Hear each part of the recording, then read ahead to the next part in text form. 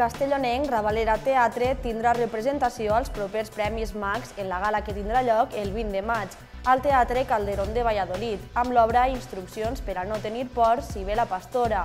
A més, en la gala també estarà present Vallibona i la comarca dels Ports. Benvinguts a l'informatiu al Dia Territori Sènia. És dijous 18 d'abril. Avui, a més d'aquesta notícia, també destaquem altres titulars importants de les nostres comarques. L'alcalde de Ribarroja d'Ebre, Antonio Suárez, afirma que l'abocador no és l'eina política que necessita el país i retreu la falta de direcció i lideratge polític. Les obres del depòsit de residus de les valls estan anant a marxes forçades perquè el pròxim 17 de juliol expira la llicència ambiental. Morella estrena nou material turístic per als xiquets xiquetes. Es tracta de mapes de la ciutat, el castell i els museus on es troben jocs i reptes per interactuar amb el contingut i la història de Morella. Flora, el jardí de la vida natural. És el nou projecte impulsat per l'empresa de cosmètica ecològica Matarrània a Penarroja de Tastavins. El nou espai ofereix activitats per a desenvolupar una cultura de respecte al planeta i a les persones. Ken Smith va ser jugador del Cantaires Tortosa ara fa 4 anys. Des de llavors ha jugat a les millors lligues d'Àsia i Europa.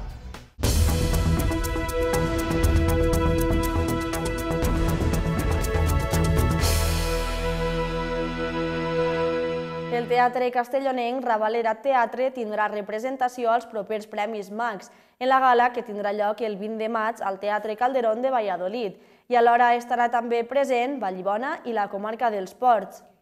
L'obra Instruccions per a no tenir por si ve la pastora de la companyia Ravalera és finalista als Premis Max, en els quals Núria Vizcarro és candidata en la secció Millor Autoria Revelació i l'obra Sobre el maqui vallibonenc que interpretarà Laia Porcar també està nominada a Millor Espectacle Revelació, tot i que l'obra s'articula des del concepte de la por, la vida de la pastora dona peu a tractar molts de temes, fins i tot comparar com la vida ha canviat des d'aquella època fins als nostres dies.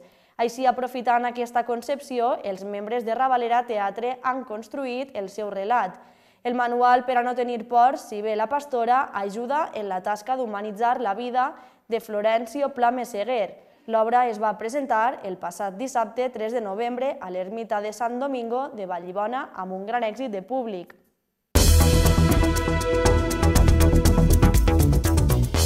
L'alcalde de Ribarroja d'Ebre, Antonio Suárez, carrega contra el PDeCAT després d'haver-se donat de baixa fa una setmana per defensar l'abocador que es construeix al seu poble. Suárez creu que no és l'eina política que necessita el país i el retreu la falta de direcció i lideratge polític. L'ara candidat de la FIC a les eleccions municipals també creu que tot plegat ha estat una maniobra d'Esquerra per desgastar-lo a ell i al PDeCAT. Les obres del dipòsit de residus de les valls estan anant amb marxes forçades perquè el pròxim 17 de juliol expira la llicència ambiental.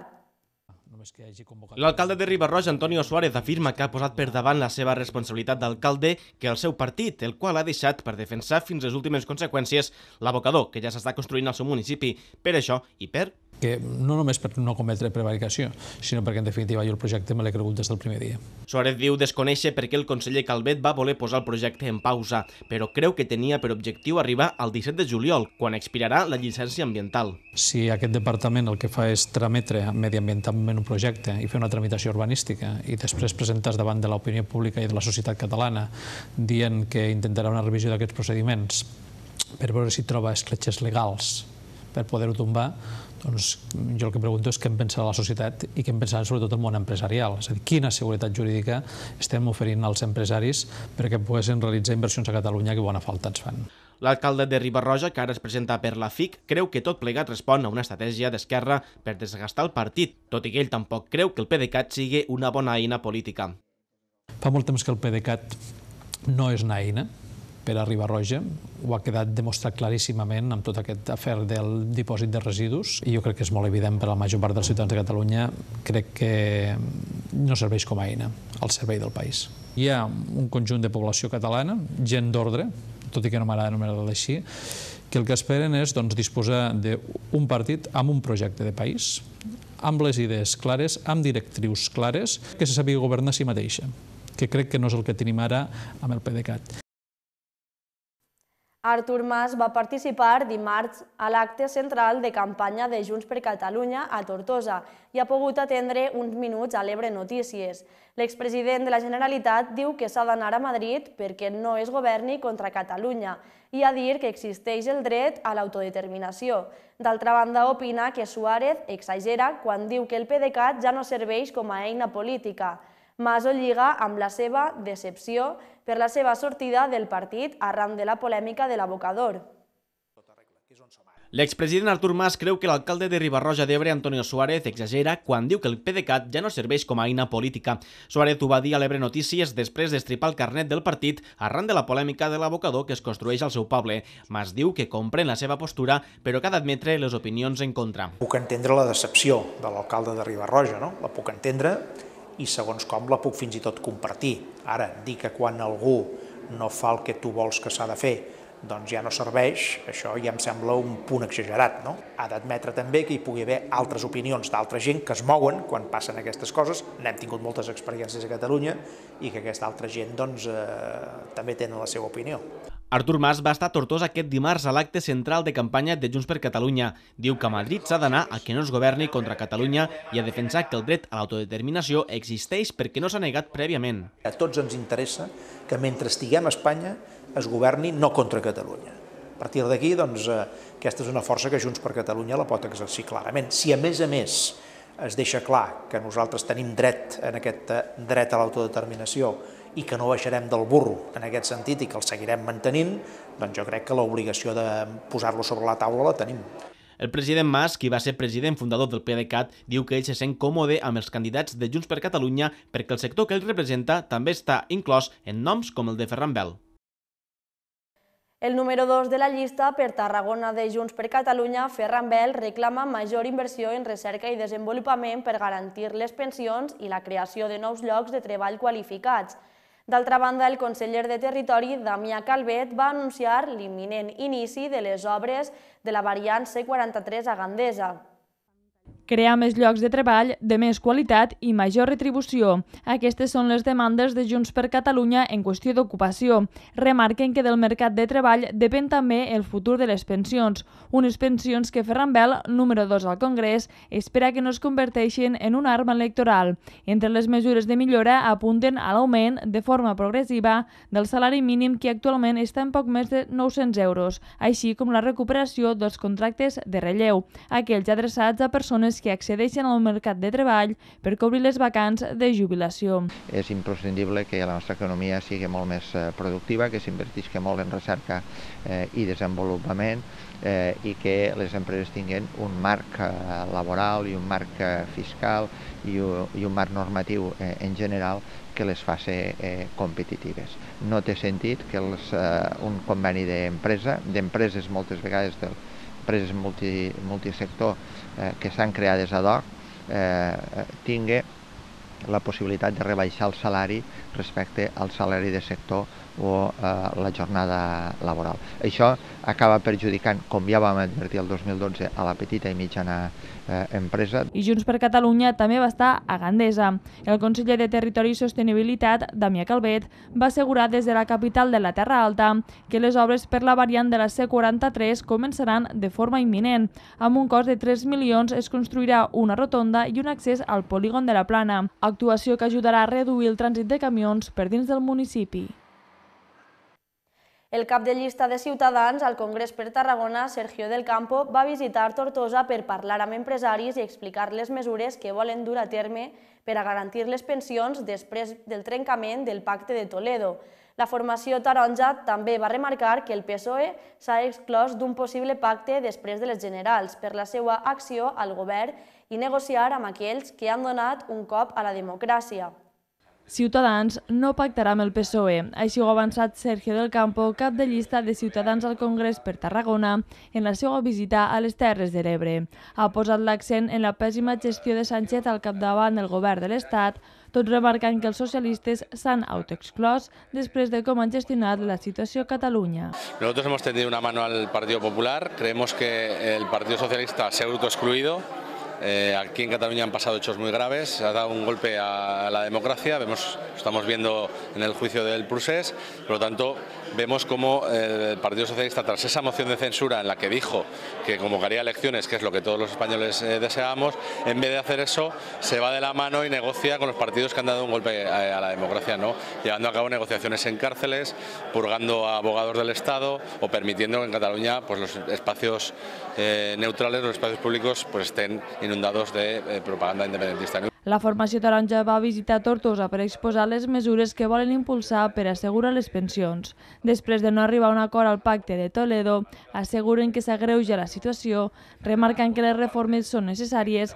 i s'ha d'arribar a un consens entre tots els partits. Tenemos que ir a consensos que probablemente, y es lo que le he explicado a la gente, hará que todos tengamos que renunciar a algunas de nuestras propuestas. ¿no?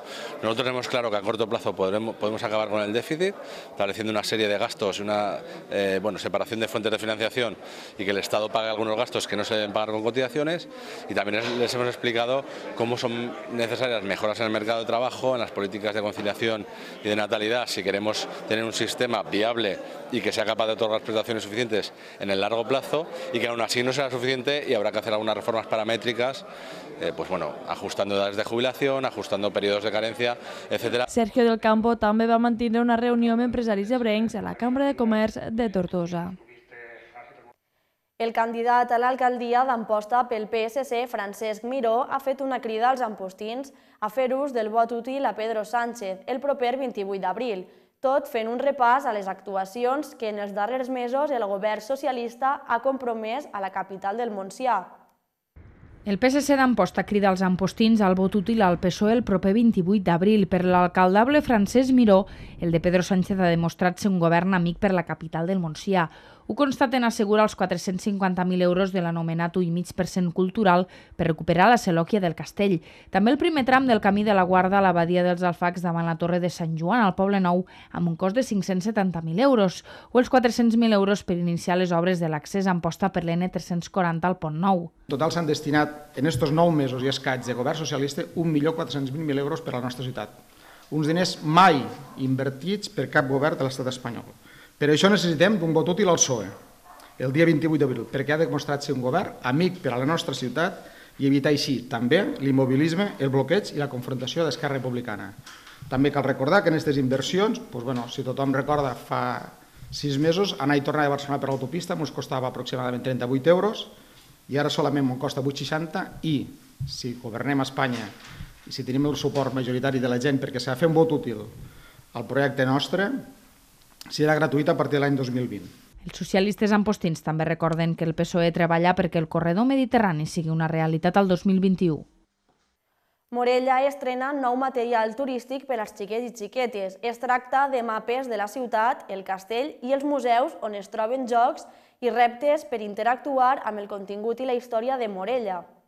Amb el nou material turístic es potencia el turisme familiar, un factor molt important en aquests dies de Setmana Santa. Oficina de Turisme ja teníem un plano de Morellà infantil on posar els puestos on els xiquets poden disfrutar més, a part de, de lo millor el Museu dels Dinosauris, que crec que és molt adequat per xiquets, també on estan els parcs infantils i, i diferents eh, eh, atractius que té Morella per la família, com també són les torres de Sant Miquel, que són les torres de, dels jocs per pa, xiquets. A part d'això, ara el que s'han fet és s'han ampliat aquests mapes infantils, s'han fet un mapa infantil del, del castell perquè els, els xiquets puguen anar buscant diferents localitzacions de, de dins dels castells i que sigui més atractiva la visita per pa, ells. Morella compta amb una àmplia oferta per al públic infantil i familiar amb diversitat d'espais visitables per a passar una bona estona en família família, com els museus de dinosaures, els saltapins o el passeig de l'Alameda, un gran espai verd. Dins de tot aquest producte de, de turisme familiar, el que sí que ens han fet és ens han adherit al club de producte de turisme familiar de, de turisme Comunitat Valenciana, que és Turanquits. De, eh, això és una manera d'arribar a més, a més famílies eh, fent més atractiu el, el, el, el destí de, de Morella com a, com a turisme de, de família, ja que ells fan una difusió àmplia i ja la, la gent que busca aquest tipus de turisme se dirigís al seu portal per pa buscar llocs on poden anar a disfrutar en família. Els nous mapes infantils pretenen apropar la història de Morella i els seus personatges més rellevants de la forma més divertida als més menuts.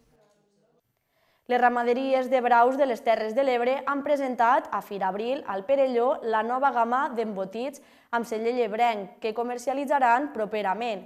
Es tracta de cecina, paté i chorizo. A les estanteries dels comerços i supermercats de proximitat hi haurà properament cecina, chorizo i paté amb licor d'arròs amb segell llebrenc. Coincidint amb Firabril al Perelló, l'Associació de Criadors de Brau de les Terres de l'Ebre ha presentat la nova gamma d'embotits, que en els propers mesos promocionaran esdeveniments com Deltafira o Fira Amposta. Es tracta de productes càrnics bovins de les ramaderies de la família Fumador, germans Margalef, Angelina Mur i Miquel Pallarès. Una marca de proximitat en el qual són productes de les Terres de l'Ebre i, com no, de les vaques que nosaltres criem i vidells de la nostra casa, dels ganaders que estem dins en aquesta marca. Eh, són cecina de bou brau, chorizos, el xoriç de blanc, xoriç roig i després paté en licor d'arròs. I són productes exclusius, eh, són productes, el millor que tenim, que és la proximitat de les terres nostres de l'Ebre. Impulsar productes agroalimentaris, turístics i culturals són els tres eixos de la iniciativa de Aurox Project, que vol reivindicar el paper del Brau de l'Ebre com a potencial conservador del territori. Un projecte que a la vegada busca regenerar el sector ramader ebrenc i restar dependència dels festejos taurins. A les Terres de l'Ebre hi ha nou de les deu ramaderies de bous braus de Catalunya, amb un miler de caps. Flora, el Jardí de la Vida Natural és el nou projecte impulsat per l'empresa de cosmètica ecològica matarrània Penarroja de Tastavins. El nou espai ofereix activitats per a desenvolupar una cultura de respecte al planeta i a les persones. Està situat dins el nucli urbà i consta de tres espais, un jardí botànic amb més de 50 espècies diferents del matarranya, una horta ecològica i, finalment, un centre d'activitats socials, culturals i ambientals.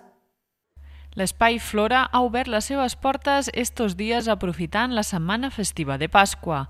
Este jardí de la vida natural està pensat perquè a través del jardí botànic, l'hort ecològic i el centre d'activitats, els visitants coneguen com és l'entorn natural del Matarranya i com es poden aprofitar els seus recursos de manera respectuosa. Són visites guiades i quan s'acaba la visita guiada tant del jardí com de l'hort se fa una part pràctica, un taller que se fa a dins de les instal·lacions. I a part, el centre està està pensat doncs, per acollir xerrades, presentacions, tallers, tots relacionats en el que és doncs, la vida més natural i, i més acord en els nostres ritmes de vida. La proposta de Flora vol acostar la natura a tota classe de gent, tant a persones ja compromeses amb l'entorn com als que s'inicien en una vida més acord als ritmes de la natura. Ve molt enfocat a les escoles, hi ha unes activitats molt boniques, molt dinàmiques i molt novedoses que les hem enfocat per al respecte de la natura, el coneixement de les plantes per als xiquets, o sigui, les escoles també són molt benvingudes i després també doncs, professionals de les plantes, de la fitoteràpia, gent en general que està interessada per la natura, per les plantes, entonces, eh, i també molt enfocat a famílies. Actualment ja es poden fer visites guiades a Flora i a poc a poc aniran proposant les activitats activitats complementàries de temàtiques variades com salut, creativitat, alimentació o criança. També de cara al bon temps, l'or, que ara està començant a germinar, mostrarà el seu màxim esplendor. A Sant Carles de la Ràpita, la Fundació Plegadís dona una segona vida a ocells que han tingut accidents a conseqüència de causes humanes com electrocutar-se en vies elèctriques o ser atropellats per vehicles.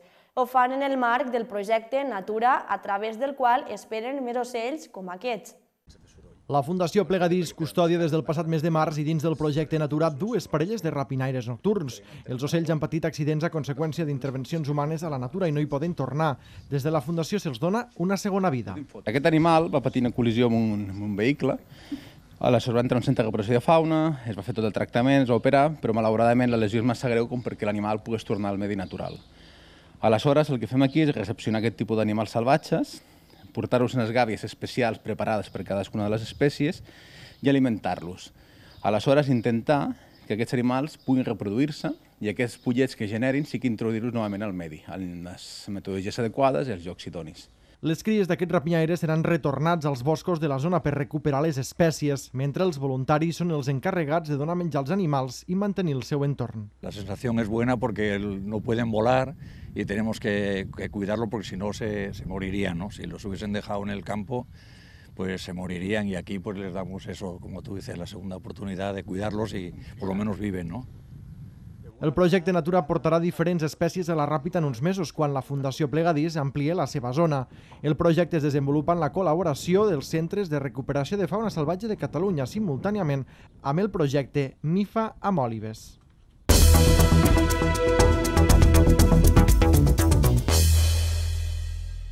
Seguint amb els actes de Setmana Santa, Vinaròs va celebrar ahir dimecres la processó de la matinada, un acte que s'inicia a les 5 del matí i que està presidit per l'arxiprès del municipi Emili Vinaixa i les autoritats municipals. L'escriptor Manel Oller dedica un llibre a un dels artistes més rellevants dels anys 60 de les Terres de l'Ebre, Frederic Mauri. El pintor va comptar amb una àmplia trajectòria creativa des del dibuix passant per la pintura fins a l'exlibris. El llibre, editat per Onada Edicions, inclou una significativa mostra de les obres de Mauri l'art del pintor Frederic Mauri en un llibre. L'artista va deixar una gran aportació al món de l'art amb la seva àmplia obra pictòrica, innovadora, creativa i molt personal. Aquest llegat és un dels punts que podem trobar al llibre Mauri Essencial, escrit per Manel Oller, on també inclou reproduccions d'algunes de les seves obres. L'escriptor fa un repàs de la seva trajectòria biogràfica i exposa alguns dels aspectes poc coneguts de l'artista. Mauri, exlibrista, que ha tingut una ressonància àmplia en el món de l'exlibrisme i que han hi hagut estudiosos de Portugal, d'Itàlia, que s'han interessat per la seva obra i apareix en diversos en diverses enciclopèdies d'exlibristes contemporanis, aquesta era una faceta que jo penso que valia la pena remarcar.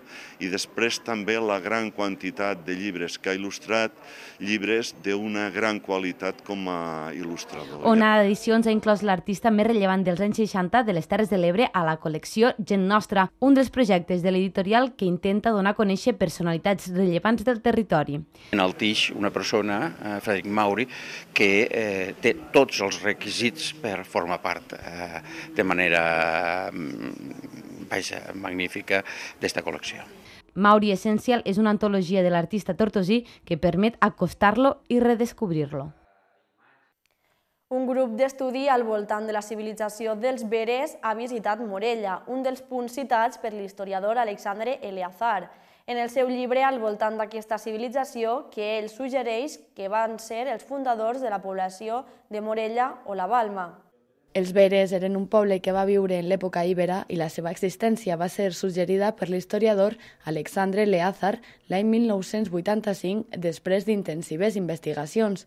Ara, gràcies als seus seguidors i entusiastes, s'ha pogut donar a conèixer el seu llibre. Gracias a los grupos de estudio que mm, contactamos por internet, por YouTube, pues eh, hemos venido personas de toda España, de toda Iberia, incluso alguna persona de Francia, y bueno, desde los rincones del País Vasco, Huelva, Granada, Madrid, Zaragoza, eh, perdón, Teruel.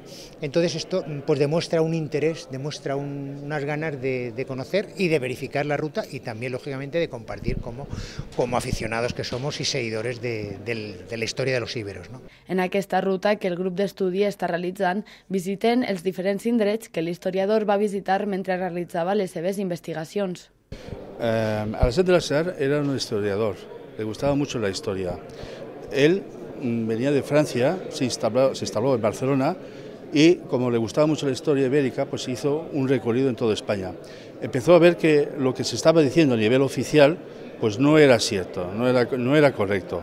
Entonces empezó a trabajar con los textos ibéricos. Estuvo dos años estudiando y gracias a la Lengoa, el Lengoa es un sistema que, tiene una base vasco, vasco antiguo, tiene un 80%, y gracias a este procedimiento pues, pudo empezar a descifrar los textos ibéricos. Així, el grup d'estudi dels Beres va visitar Morella com a part del seu viatge seguint la senda Eleazar. Els fets més rellevants del segle XX recollits al llibre El silencio de las ranas, de Llàtzer Carles. L'escriptor rapitenc dona a conèixer la seva última novel·la que transporta al lector a un temps no tan llunyà on la veritable trama és un crim. L'escriptor rapitenc Llatge Carles ha tret a la llum el seu darrer treball literari, El silencio de las ranas, una novel·la que recull àmpliament tots els fets més rellevants del segle XX a través d'un personatge que neix l'1 de gener del 1900 i mor el 31 de desembre del 2000. L'escriptor ha volgut treure a la llum els passatges bèl·lics d'aquest segle dins de l'àmbit espanyol i els avenços tecnològics i el que va significar per a la població. En un món que ho olvida tot i on els xavals no saben ni qui era el Cid Campeador, però saben perfectament qui és Winnie the Pooh i com connectar amb un WhatsApp amb Singapur, doncs jo vull, sense caure en aquest patetisme idiota que és la llei de la memòria històrica, sí vull reflectir el que va ser els 20 anys més tecnològicament i socialment més importants de la història del món. Eh, fer un viatge al passat en, en aquell to eh, característic de, de, Llàtzer, de Llàtzer Carles. De fet, el Llàtzer Carles és un més de los molts eh, autors i autores rapitencs eh, als quals los vull agrair eh, seu treball, la seva professionalitat, la seva qualitat, perquè en definitiva, gràcies a les seues obres, gràcies als seus escrits, el que fan és posicionar la Ràpita eh, dins del mapa cultural. És un secret a veus, però el silenci de les ranes està inspirat amb el poble mariner del Montsià, la Ràpita. Amb aquest llibre, Llatge Carles intenta fer reflexionar el jovent sobre aquest passat no tan llunyà.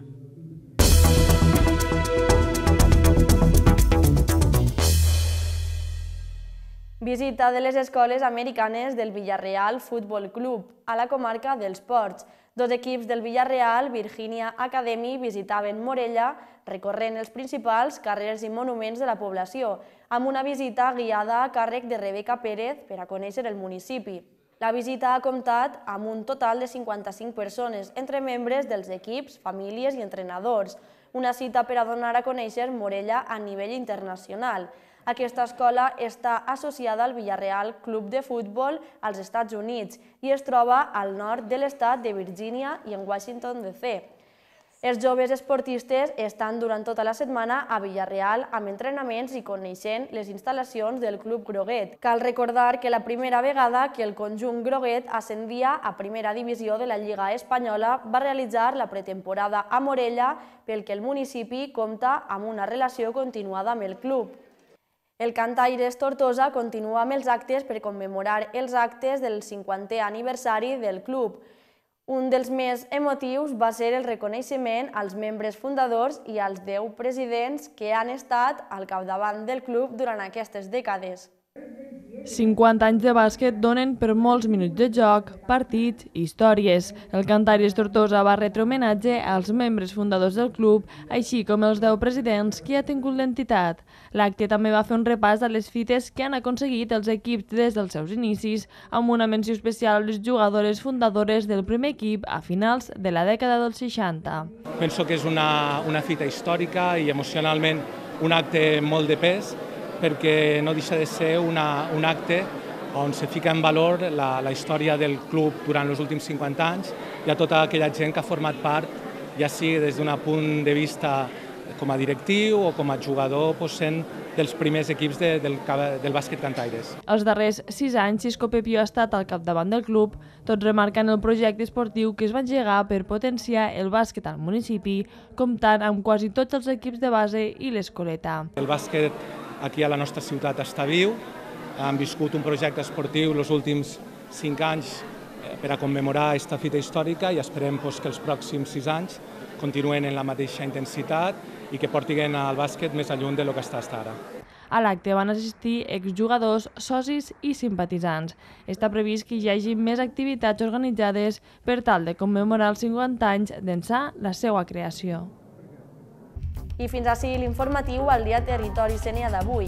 Aquestes han estat les notícies més destacades del dijous 18 d'abril. Que tinguen una molt bona Setmana Santa.